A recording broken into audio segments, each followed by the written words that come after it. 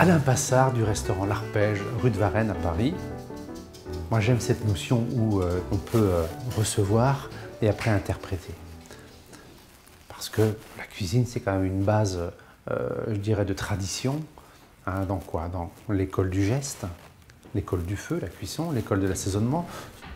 Ce sont des écoles qui sont importantes, je dirais, comme dans la musique, apprendre le solfège. Et à partir de là, on peut effectivement, bah, je dirais pas se débarrasser de certains gestes ou, de certaines saveurs, mais je dirais de les remplacer.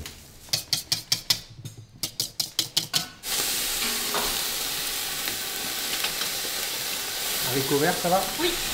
Hein, si tu as un, petit peu d'herbe et tout ça? Pour moi, dans la cuisine, il y a des familles. Ça veut dire que, si on prend le cas du végétal, une betterave rouge avec une trévise, ça s'harmonie parfaitement. Vous voyez? Parce qu'il y a un jeu de couleurs qui fait que ben, la trévise rentre dans la famille des betteraves ou de l'oseille rouge.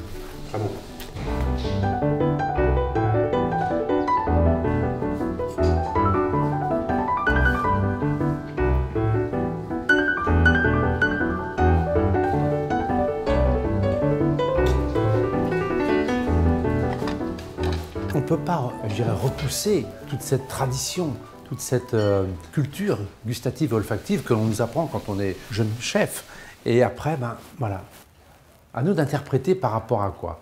Cette histoire, elle est très simple, c'est l'histoire des sens, l'histoire des cinq sens. Nous avons tous cinq sens et à nous de les ciseler pour qu'ils deviennent de plus en plus euh, à la fois beaux et performants.